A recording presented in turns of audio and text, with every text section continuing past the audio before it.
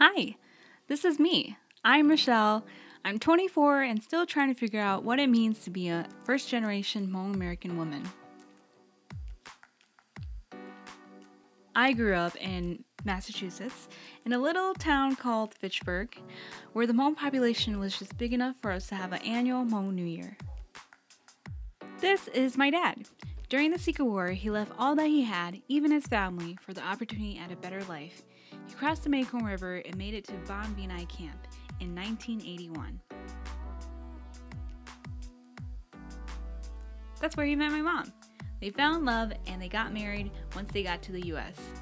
And they had me. Aren't I cute? It was only me for a while. I was an only child until the age of 15. That's when my parents had Sylvie and Justin. Growing up as an only child was often lonely. My parents didn't always have the best relationship either. It was rare that we expressed our affections for one another. Given this, I yearned for attention and love as a youth. I found it in toxic relationships and thought I was normal because that was all I saw on TV and social media.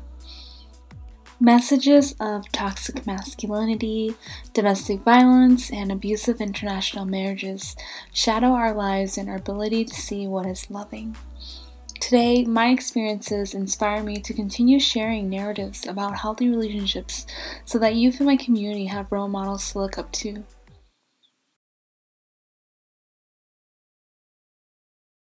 Describe the relationship that we have with each other and who we are to each other. You're like my best friend, and you're always supportive, and you also keep me accountable too.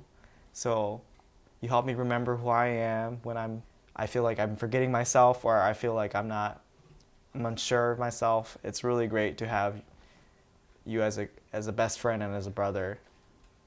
We definitely don't agree on everything.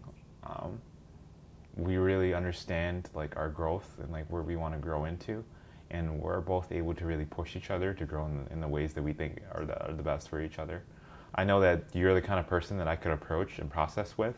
I might not have all the answers, and like my viewpoint might be completely messed up, but like I could bring it to you, and you won't judge me. That you can like walk me through, and you'll help me understand where I'm coming from, um, whether it be like something extremely small, whether it be something big. Um, I know that you're the kind of person who like whose perspective is something that I, I, I really really value.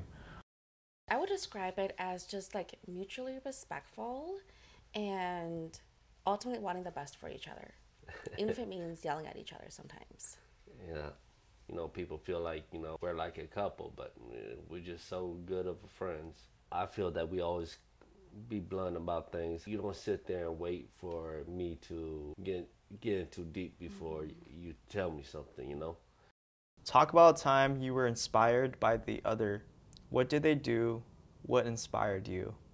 When you gave the commencement speech at Hamline during your year, I was very inspired to see not only like my own brother, but Hmong, the Hmong community really rising. We are people who are full of perseverance, full of strength, full of struggles and adversities, yet we are able to power through, and you made it through that.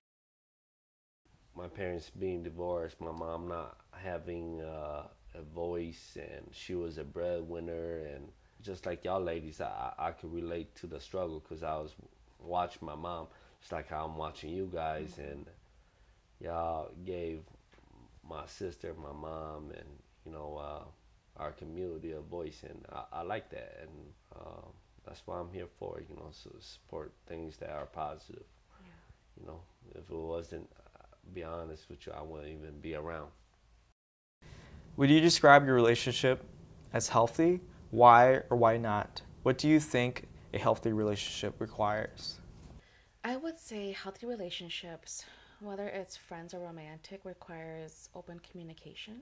You should feel completely comfortable being who you are, even in complete silence. Like for me, it just came naturally and just built over time. So you guys established like a foundation, you know. You just can't meet somebody and say, okay, I could talk to this person. No. I might tell you about my romantic relationships, you tell me about yours, and we will one give each other honest feedback, but two we also know that you know we're not going to cross this boundary because we don't want to affect that relationship in a positive or negative way. Um, so we do give each other space to do that. We're respectful of the partner's perceptions of us. There is a very strong belief in the Hmong community that men and women can't be friends. And so hopefully we can show that, you know, when you do have mutual understanding of wanting the best for each other, that it can be a good friendship and it can work and it can work even when we're in our own romantic relationships. And it's not easy, but it does require open and honest communication and understanding. And I think that the relationship that you and I have is, is really healthy. Where to keep each other accountable uh, when we're messing up and whatever we're doing, when we're not living up to like our core values that you talk about. Um, we're able to guide each other back into that. Especially as as men, not being able to process your thoughts and not being able to share your own feelings and emotions, that's very toxic. But me being able to share them with you has really helped me become more more of an adult and more of a person who's matured mm-hmm. to who I, who I am today. Mm-hmm. You're completely right. You know, to, to be able to, to, to, really share our emotions and to, to recognize them and process them each other. Like when whether we're we're like really afraid of something or something's like really making us sad or angry or like even when we're we find a lot of joy in something. Um, being able to share that with each other is like something that has really allowed me to survive and thrive in a lot of ways. And I always really appreciate being able to do that with you. Through your relationships with each other, what did you learn about loving someone? I think one of my favorite memorable moments was we were at um, one of Pink Fo's events where she was interviewing elders oh, yeah, and so whenever I cry, you cry. no matter what happens. Stop it. And so I started like bawling. So Why? it, reminded me, it reminded me of my parents. Yeah. And I started crying, and I look over, and here he is, he's crying. Yeah. And you know, and so I think there's just something where we have that chemistry that no matter what I'm feeling, like he just is into it. And I remember like looking over, and here he is like, just bawling away. And like for me, it just reminds me of how how much I respect and appreciate you. You know, is that not only are we best friends that we that we talk about things, we actually go through things together, and like whatever I'm feeling and going through, like you put yourself in that space and go through it with me, and I'm not alone. Yeah, I think one thing that you've really taught me is um, understanding where, where where my boundaries are um, in in my in my relationships, um, my friendships, in my romantic relationships, in my family relationships, is really understanding um, like what am i doing to love myself in those situations? Like what am i doing to preserve myself and to like not lose myself um, and the people that i care about? And i think um, your voice has always been like a really strong reminder to, to never forget that because it's it's impossible to love people if, if, if we're not taking time to love ourselves